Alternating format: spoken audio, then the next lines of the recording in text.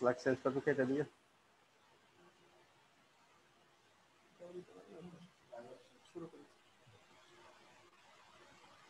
আসসালামু আলাইকুম সুপ্রিয় শিক্ষার্থীবৃন্দ আশা করি সকলে ভালো আছো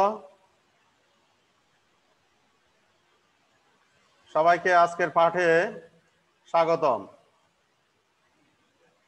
আমি মোহাম্মদ খলিলুর রহমান সহকারী শিক্ষক জীববিজ্ঞান government Muslim high school Chattogram.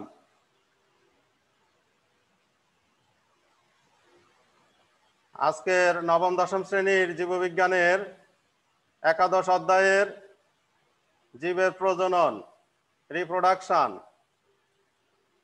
বই, বইয়ে তোমাদের লেটেস্ট বইয়ের পৃষ্ঠা নাম্বার হলো দুইশো উনচল্লিশ থেকে দুইশো বিয়াল্লিশ। বই পুস্তকগুলো খাতা, কলম, পেন্সিল নিয়ে সাথে বসার জন্য রিকোয়েস্ট করছি। এই ছবিটা লক্ষ্য করো, ভালো করে দেখো। ছবিটাতে কি কি দেখতে পাচ্ছ? এখানে একটা বাম পাশে একটা চিত্র এবং ডান পাশে একটা চিত্র। বাম পাশের এই চিত্রের মধ্যে তোমরা কি কি দেখতে পাচ্ছ লক্ষ্য করো? স্ত্রী স্তবক। ডান পাশে কি দেখতে পাচ্ছ? এগুলো লক্ষ্য করো। স্ত্রী স্তবকের মধ্যে আমরা লক্ষ্য করতেছি যে গর্ভমুণ্ড, গর্ভদণ্ড এবং গর্ভাশয়।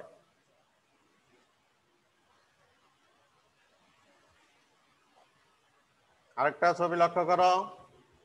এই ফিগারের মধ্যে আমরা কি ঘটতে দেখতেছি? এখানে আমরা পরাগধানী থেকে কিছু পরাগ রেণু কোথায় গিয়ে পতিত হইতে দেখতেছি? কিসের মাধ্যমে পতিত হচ্ছে? সেটা একটু ভালো করে লক্ষ্য করা এবং সেটা কোথায় গিয়ে পড়তেছে? কীভাবে পড়তেছে? তাহলে আজকে আমাদের পাঠের বিষয় হলো নিষেক প্রক্রিয়া।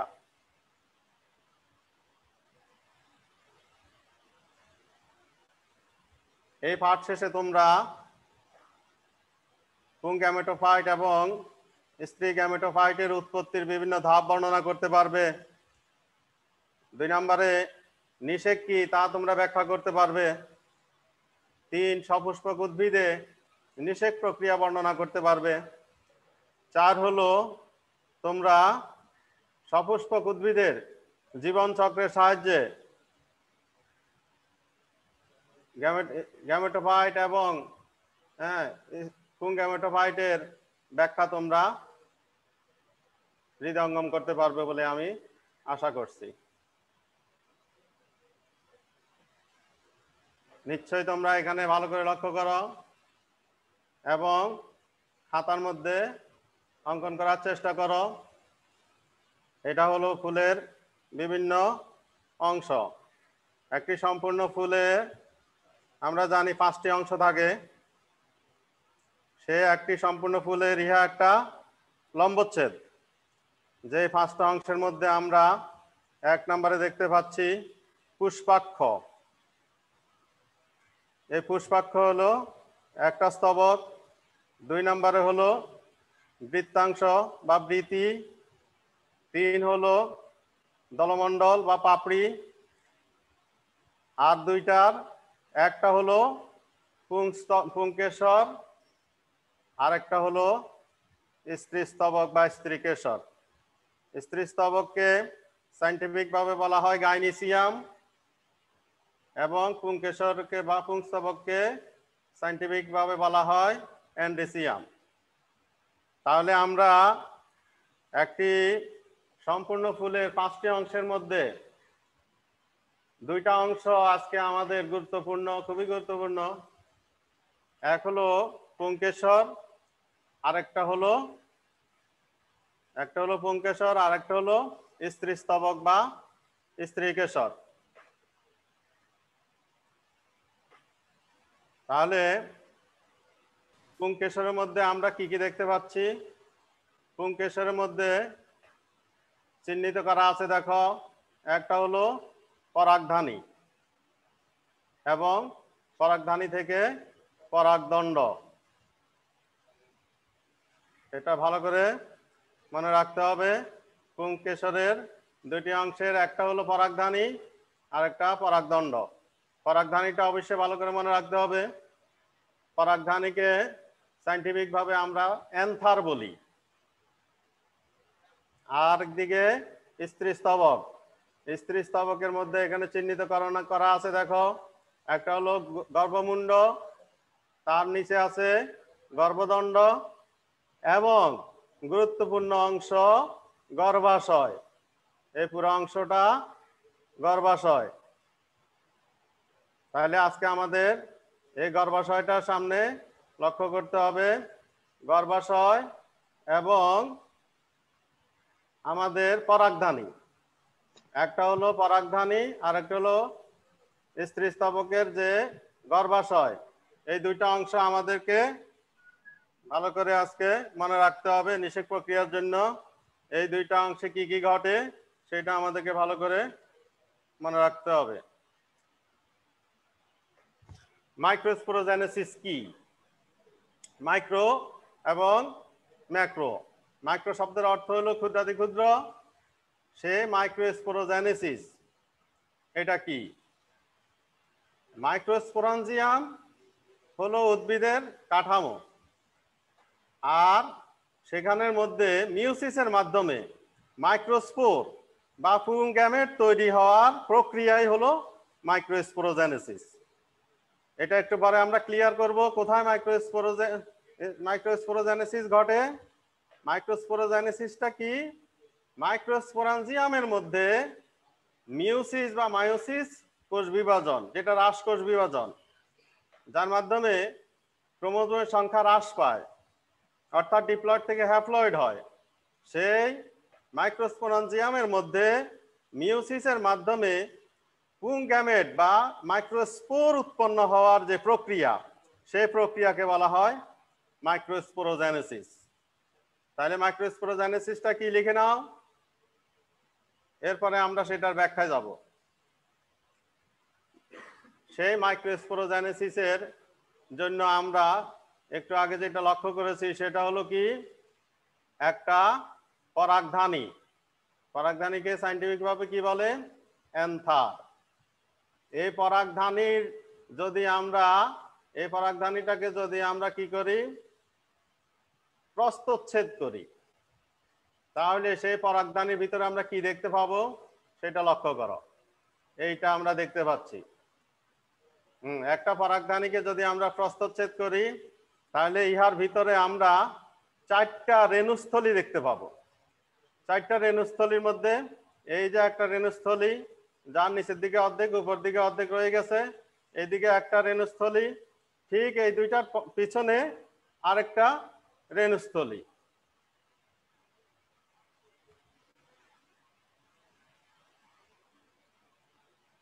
হ্যাঁ সরি তাহলে চারটা রেণুস্থলী আমরা দেখতে পাই কোথায়? পরাগধানীর মধ্যে। পরাগধানীতে আমরা চারটা যে রেণুস্থলী দেখতে পাই, সেই রেণুস্থলীর আরেক, আরেকটা সেকশন যদি আমরা দেখি, আরেকটা স্লাইড আরেকটা সেকশন যদি আমরা জুম করি, সেই জুম করার মধ্যে আমরা কি দেখতে পাচ্ছি? তার মধ্যে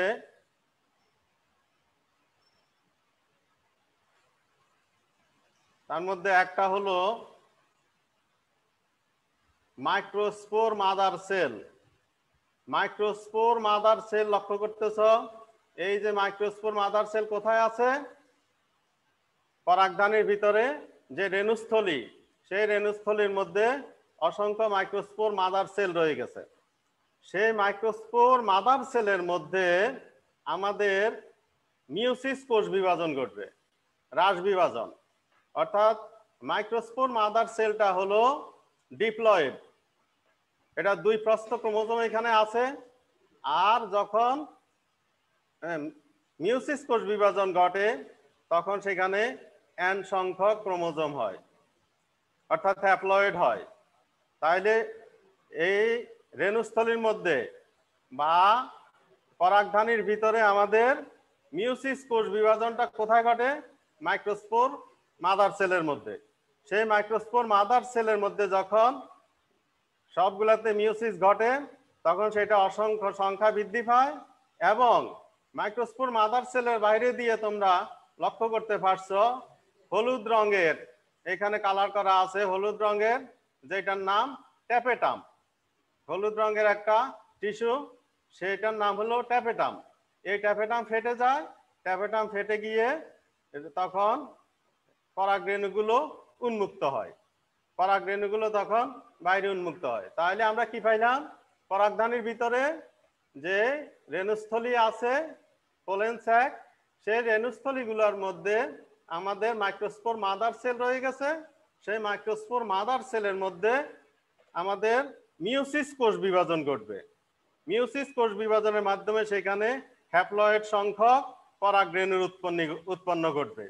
এইভাবে আমাদের মাইক্রোস্পোরোজেনেসিস সম্পন্ন হয়। তাহলে মাইক্রোস্পোরোজেনেসিস কি?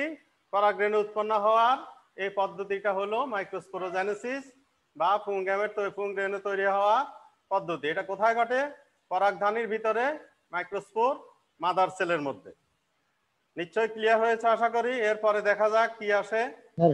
স্যার স্যার পরাগরেণু স্যার বাহকের গায়ে কীভাবে লাগে? স্যার এগুলো তো স্যার পর্দার ভিতর আবৃত থাকে স্যার।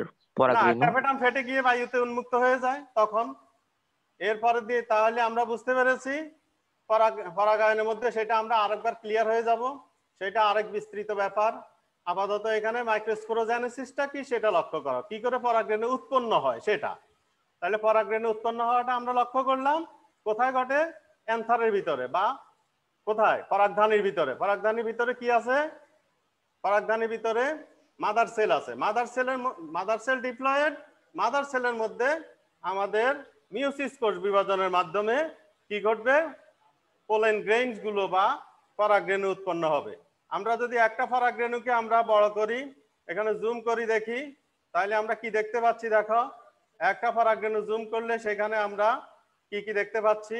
পরাগরেণুর বাইরের দিকে একটা বহিত্বক এবং ভিতরের দিকে আরেকটা ত্বক, সেটাকে আমরা অন্ততক বলি আর এর ভিতরে আমাদের নিউক্লিয়াস রয়ে গেছে। সেই নিউক্লিয়াস আমাদের কি হবে?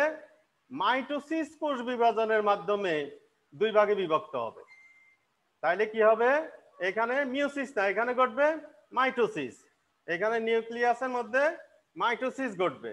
অর্থাৎ যে হ্যাপ্লয়েড সংখ্যক ছিল ক্রোমোজোম, দুইটা নিউক্লিয়াস হলো, সেই দুইটাতে হ্যাপ্লয়েড সংখ্যক ক্রোমোজোম থাকবে, অর্ধপ্রস্থ। এইখানে এই দুইটা নিউক্লিয়াসের মধ্যে একটা নিউক্লিয়াসের নাম হলো কি? জনন নিউক্লিয়াস জেনারেটিভ নিউক্লিয়াস আরেকটা নিউক্লিয়াসের নাম হলো নালিকা নিউক্লিয়াস বা টিউব নিউক্লিয়াস। নালিকা নিউক্লিয়াস টিউব তৈরি করবে, নালিকা তৈরি করবে, অর্থাৎ নালিকা নিউক্লিয়াস বহিত্বক ভেদ করে অন্ততক সহ বহিত্বক ভেদ করে নালি তৈরি করবে। আর জনন নিউক্লিয়াসটা তার পশ্চাতে পশ্চাতে অগ্রসর হবে এবং জনন নিউক্লিয়াসটা কি হবে? আবার মাইটোসিস কোষ বিভাজনের মাধ্যমে দুইটা নিউক্লিয়াসে বিভক্ত হবে এবং সেই দুইটা নিউক্লিয়াসকে আমরা বলি পুংগ্যামেট তাহলে ক্লিয়ারটা কি, কোথায়, কীভাবে হয়? যে পুংগ্যামেট তৈরি হওয়ার পদ্ধতিকে আমরা কি বলেছি? মাইক্রো স্পোরোজেনেসিস পাইট উৎপত্তির বিভিন্ন ধাপ আশা করি লক্ষ্য করতে পেরেছ আশা করি বুঝেছ। কোন জায়গায় কি সমস্যা বলো? স্যার এখানে স্যার সাইটোপ্লাজমের বিভাজন ঘটে না? না এখানে সাইটোপ্লাজমের বিভাজন না এখানে হলো নিউক্লিয়াসের বিভাজন এইভাবে চলতে থাকে। এর পরবর্তীতে নিষেক প্রক্রিয়ার জন্য শুধু নিউক্লিয়াস প্রয়োজন সেই কারণে এখানে সাইটোপ্লাজমের বিভাজন ঘটে না। এরপরে লক্ষ্য করো মেগাস্পোরোজেনেসিসটা কি? তাহলে মাইক্রোস্পোরোজেনেসিস গেল, এবার মেগাস্পোরোজেনেসিস। মেগা মানে বড়। তাহলে মেগাস্পোরঞ্জিয়ামের মধ্যে মিউসিসের মাধ্যমে স্ত্রী গ্যামেট তৈরি করার যে প্রক্রিয়া, সেই প্রক্রিয়ার নাম হলো মেগা স্পোরোজেনেসিস মেগা স্পোরোজেনেসিসটা কি? স্ত্রী গ্যামেট তৈরি করার প্রক্রিয়া হলো মেগা স্পোরোজেনেসিস যেটা মাইক্রো স্পোরোজেনেসিস ছিল পুং গ্যামেট তৈরি হওয়ার প্রক্রিয়া? আশা করি বুঝতে পেরেছ, এটা লিখে রাখো এরপরে কোথায় ঘটে, কীভাবে ঘটে মেগা স্পোরোজেনেসিস, সেটা আমরা লক্ষ্য করো। হ্যাঁ এই যে এই চিত্রটা আমরা লক্ষ্য করো, এই চিত্রটা আমরা ফুলের যে লম্বচ্ছেদের মধ্যে দেখাই, দেখাইছিলাম, সেখানে বলেছিলাম যে এটা আমাদের মনে রাখতে হবে এই চিত্রটা। এই চিত্রটা কি নাম ছিল? নিশ্চয়ই তোমাদের মনে আছে। এটা হলো ডিম্বাশয়ের মধ্যে আমাদের যে ডিম্বক, সেই ডিম্বকের অংশটাকে আমরা এখানে জুম করা হয়েছে। এই ডিম্বকের মধ্যে আমরা লক্ষ্য করো, সেইখানে কোথায় আমাদের মেগাস্পোরোজেনেসিস হয়, অর্থাৎ ডিম্বাণু তৈরি হবে। ডিম্বাণু তৈরি হওয়ার মাদার সেলটা কি, সেটা একটু ভালো করে এখান থেকে ক্লিয়ার হতে হবে। এখানে তোমরা লক্ষ্য করো, এই যে মাঝখানে একটা ভ্রূণথলি। এই ভ্রূণথলিটা যদি আমরা বাদ দিই, এই ভ্রূণথলিটা প্রথমে ছিল না। তাহলে এই জায়গায় কি ছিল? এই জায়গায় ছিল এই যে হলুদ রঙের করে যে টিস্যুগুলো, তোমরা দেখতে পাচ্ছ, এই হলুদ রঙের টিস্যুগুলো লেবেলিং করা আছে। কি কি নাম লেখা আছে? ভ্রূণপোষক টিস্যু বা নিউসেলাস। এই ভ্রূণপোষক টিস্যু বা নিউসেলাস দ্বারা এই কমপ্লিটলি এই জায়গাটা পরিপূর্ণ ছিল। অর্থাৎ এই ভ্রূণপোষক টিস্যু বা নিউসেলাসের একটি মাত্র কোষ যাহার অবস্থান এই জায়গায় এই জায়গায় ছিল। অর্থাৎ ডিম্বক রন্ধ্রের কাছাকাছি এই জায়গাটাতে একটা মাত্র কোষ ছিল, যেই কোষটা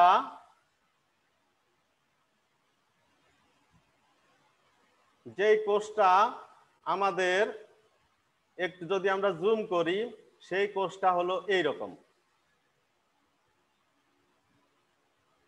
সেই কোষটা হলো আমাদের এই রকম অর্থাৎ ডিম্বক রন্ধ্রের কাছাকাছি ভ্রূণপোষক টিস্যুর যেই একটি মাত্র বড় কোষ সেই কোষটা লক্ষ্য করো, সেটাই, সেটার নাম কি লেখা আছে লেবেলিং করা আছে, দেখতে পাচ্ছ?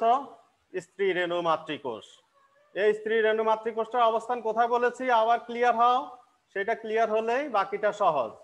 এখানে ডিম্বক রন্ধ্রের কাছাকাছি যে নিউসেলাস বা ভ্রূণপোষক টিস্যু, সেই ভ্রূণপোষক টিস্যুর একটা কোষ, এই কোষটা। যে কোষটার নাম হলো, যে কোষটার নাম হলো স্ত্রী রেণু মাতৃকোষ। এই স্ত্রী রেণু মাতৃকোষটা সাইটোপ্লাজম ঘন হয়, বেশি হয়, বড় হয়, সেটা আরেকটু হৃষ্টপুষ্ট হয়, আরেকটু বড় হয়, পরিপক্ক হয়, সেটা পরিপক্ক হয়ে বিভাজনের জন্য অর্থাৎ ইন্টারফেস দশা অবস্থান করে। ইন্টারফেস দশা পার হলে সেইখানে মিউসিস ঘটবে। মাইটোসিস না, কি ঘটবে? মিউসিস মিউসিসের মাধ্যমে সেইখানে হ্রাস, ক্রোমোজোমের সংখ্যা হ্রাস পাবে। অর্থাৎ ডিপ্লয়েডে যত ক্রোমোজোম যত সংখ্যক ক্রোমোজোম ছিল তার অর্ধেকে পরিণত হবে। সেইখানে তাইলে দেখা গেল যে চারটি হ্যাঁ চারটি স্ত্রী রেণু কোষ পাওয়া গেল মিওসিসের মাধ্যমে। সেইখানে তিনটি নষ্ট হয়ে যাবে, একটি থাকবে, বড় হবে সেটা আবার মাইটোসিস প্রক্রিয়া নিউক্লিয়াস বিভক্ত হবে। সেই মাইটোসিস প্রত্যেকটা নিউক্লিয়াস আবার মাইটোসিস প্রক্রিয়ায় হ্যাঁ দুইটা থেকে চারটা নিউক্লিয়াসে রূপান্তর হবে। আবারও মাইটোসিস প্রক্রিয়া বিভাজিত হয়ে দুইটা থেকে হ্যাঁ, চারটা থেকে আটটা করে করে হ্যাঁ একদিকে এক মেরুতে চারটা আরেক মেরুতে চারটা অবস্থান করবে। তার মধ্য থেকে দুই মেরু থেকে দুইটা বিষুবীয় অঞ্চলে মাঝামাঝি অঞ্চলে বিষুবীয় অঞ্চলে অবস্থান করবে যাকে বলা হবে গৌণ কেন্দ্রিকা বা গৌণ কেন্দ্রিক নিউক্লিয়াস সেকেন্ডারি নিউক্লিয়াস আর বাকি তিনটার একদিকের মেরুর, বাকি তিনটাকে বলা হয় প্রতিপাদ কোষ। অপর মেরুর, যেই তিনটা, সেই তিনটার মধ্যে মাঝখানেরটাই হলো ডিম্বাণু। আর তার দুই পাশে দুইটা সহকারী কোষ। তাইলে এই ডিম্বাণু সৃষ্টি হওয়ার যে প্রক্রিয়া, সেই প্রক্রিয়াকে বলা হয় মূলত মেগা স্পোরোজেনোসিস স্ত্রী গ্যামেটোফাইট উৎপত্তি। স্ত্রী গ্যামেটোফাইট বা মেগা স্পোরোজেনেসিস প্রক্রিয়াটা তাহলে লক- কোথায় ঘটে? এটা ঘটে ডিম্বকের মধ্যে। স্ত্রী স্তবকের ডিম্বাশয়ে যে ডিম্বক থাকে, সেই ডিম্বকের মধ্যে এই মেগা স্পোরোজেনেসিস ঘটে। তাহলে আবার বলছি, ভ্রূণপোষক টিস্যুর একটা কোষ ডিম্বক রন্ধ্রের কাছাকাছি একটা কোষ, বড় হবে, ঘন হবে, সেইটাই মিউসিস প্রক্রিয়া বিভাজিত হয়ে চারটা, তার মধ্যে তিনটা নষ্ট হয়ে যাবে, একটা বড় হবে সেটা এর পরবর্তীতে সব মাইটোসিস প্রক্রিয়া বিভাজন বিভাজন ঘটবে। মাইটোসিসে কি হয়, আমরা জানি ক্রোমোজোম সংখ্যা যা থাকে তাই থাকে। দুইটা থেকে, একটা থেকে দুইটা দুইটা থেকে চারটা চারটা থেকে আটটা এইভাবে আমাদের মেগাস্পোরোজেনেসিস কমপ্লিট হয়। তাহলে আশা করি মাইক্রোস্পোরোজেনেসিস এবং মেগাস্পোরোজেনেসিসটা তোমরা ক্লিয়ার হয়েছো? আশা করি ক্লিয়ার হয়েছো তোমরা? Yes, sir. Thank Yes, you. sir. Yes, sir. এরপরে দেখো এরপরে কি ঘটনা ঘটে? স্ত্রী গ্যামেটোফাইটের উৎপত্তি কীভাবে হয়েছিল মনে আছে তোমাদের? স্ত্রী গ্যামেটোফাইটের উৎপত্তি কীভাবে হয়েছে মনে আছে? একটু আগে তোমরা যেটা দেখেছ সেটা। থ্যাংক ইউ হ্যাঁ সেটা আবার একটু জ্বালাই করে নাও মিলিয়ে নাও সকলে। স্ত্রী রেণু মাতৃকোষটা কোথায় ছিল? কেউ বলতে পারবে? স্ত্রী রেণু মাতৃকোষটা কোথায় ছিল? ভ্রূণ পোষক টিস্যু বা স্যার স্যার হ্যাঁ। বলো স্যার নিউসিলাস স্যার নিউসিলাস টিস্যুতে স্যার ডিম্বক্রন্দ্রের কাছাকাছি। ভেরি গুড কাছাকাছি যে নিউসেলাসের একটি কোষ সেটাই হলো স্ত্রী রেণু মাতৃকোষ যাহা মিউসিস ঘটবে। Thank you sir ji. দেখে স্যার গেমেট আর গেমেটোফাইট কি? একই কথা? নো নো নো গ্যামেট উৎপন্ন হওয়ার পদ্ধতি গ্যামেটোফাইট গ্যামেট গ্যামেট হলো শুক্রাণু বা ডিম্বাণু। আর এটার উৎপত্তি হওয়াটাকে ফাইট বলে গ্যামেটোফাইট বুঝেছ আশা করি? না বুঝো নাই? জি স্যার। এবার। এবার তাহলে নিষেক প্রক্রিয়াটা জেনে নাও। নিষেক প্রক্রিয়া অত কঠিন না। উদ্ভিদের নিষেক প্রক্রিয়াটা দেখো নিষেক কাকে বলে? নিষেকের নিষেককে আমরা ইংলিশে ফার্টিলাইজেশন বলি। ফার্টিলাইজেশনটা কি সেটা একটু ভালো করে লক্ষ্য করো। লেখা আছে কে একজনে পড়ো তো দেখি।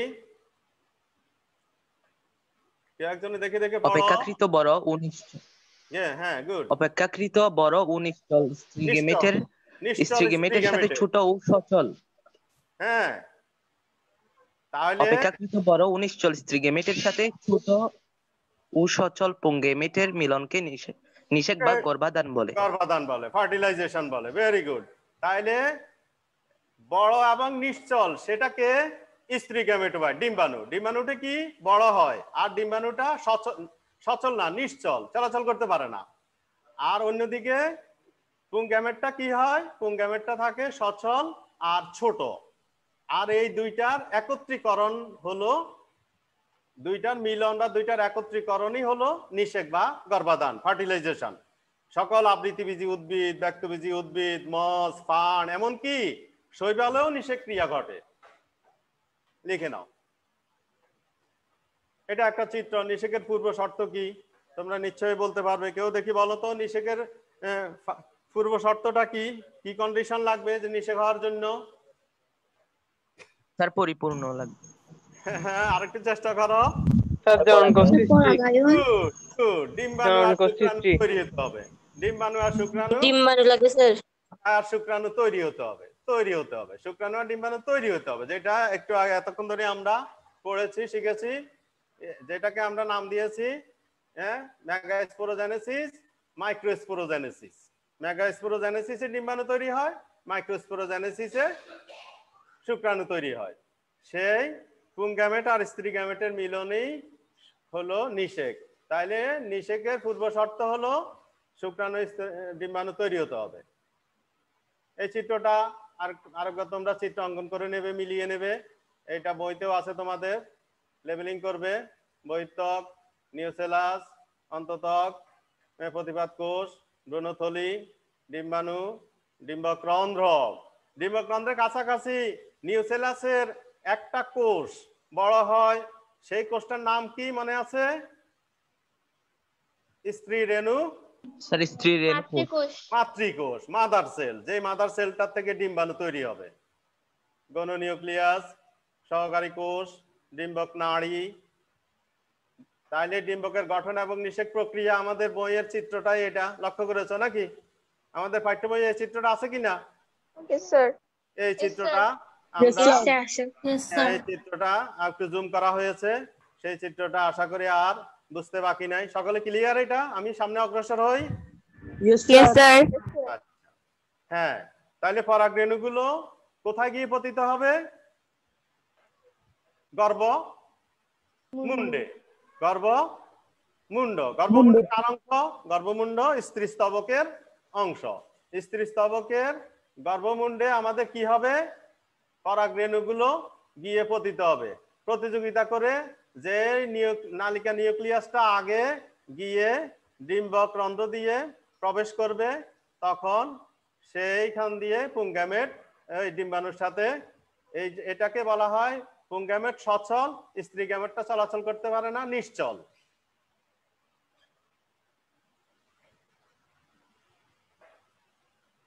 হ্যাঁ দিনিষেকটা কি?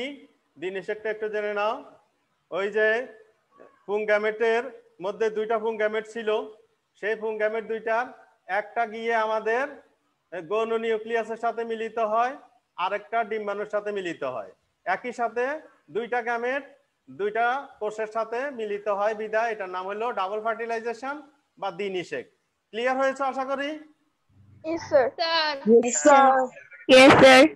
এরপরে লক্ষ্য করো এইটা তোমাদের বইয়ের যে চিত্রটা, এই চিত্রটার মধ্যে তোমরা এই এই যে পরাগধানী পরাগধানী থেকে আমাদের কি তৈরি হয়েছিল মনে আছে? পরাগধানী থেকে আমাদের পরাগরেণু উৎপন্ন হয়েছিল মনে আছে? সেই পরাগরেণু উৎপন্ন হওয়ার এই পদ্ধতিটার নাম আমরা কি বলেছিলাম? মাইক্রো স্পোরোজেনেসিস অন্যদিকে আমাদের ডিম্বাশয়ে যে ডিম্বক ছিল ডিম্বকেন্দ্রের কাছাকাছি আমাদের মেগাস্পোরাঞ্জিয়ামের মধ্যে মেগাস্পোর বা আমাদের কি তৈরি হয়েছিল? ডিম্বাণু তৈরি হয়েছিল। সেই ডিম্বাণু তৈরি হওয়ার এই পদ্ধতিকে আমরা কি বলেছিলাম? মেগাস্পোরোজেনেসিস তাইলে একদিকে মাইক্রোস্পোরোজেনেসিস আরেকদিকে মেগাস্পোরোজেনেসিস উৎপন্ন হলো। আর সেই ডিম্বাণু আর এইদিকে পরাগরেণুটা গিয়ে আমাদের কি হয়েছে? হ্যাঁ পরাগরেণুটা আমাদের মিলিত হয়ে নিষেক হয়েছে, আর সেইখান থেকে আমাদের ভ্রূণ তৈরি হয়েছে। এরপরে যে সেকেন্ডারি নিউক্লিয়াস ছিল, সেই সেকেন্ডারি নিউক্লিয়াস শস্যে পরিণত হয়েছে। ভ্রূণটা উপযুক্ত পরিবেশ পেলে সেইখান থেকে একদিকে মূল, আরেকদিকে কাণ্ড ইত্যাদি উৎপন্ন হয়। সেইটাকেই বলা হয় স্পোরোফাইট তাইলে এ- এইদিকে হলো পুরাটা আমাদের গ্যামেটোফাইট আর এইদিকে হলো স্পোরোফাইট স্পোর তৈরি হওয়া। অঙ্কুরিত হওয়াকে স্পোরোফাইট বলে।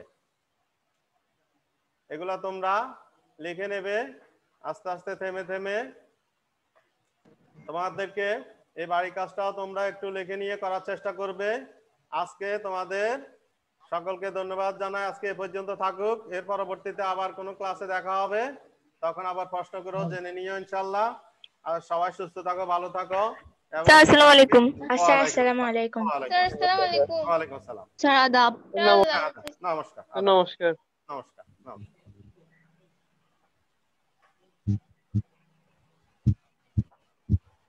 Assalamu alaikum. ওয়ালাইকুম আসসালাম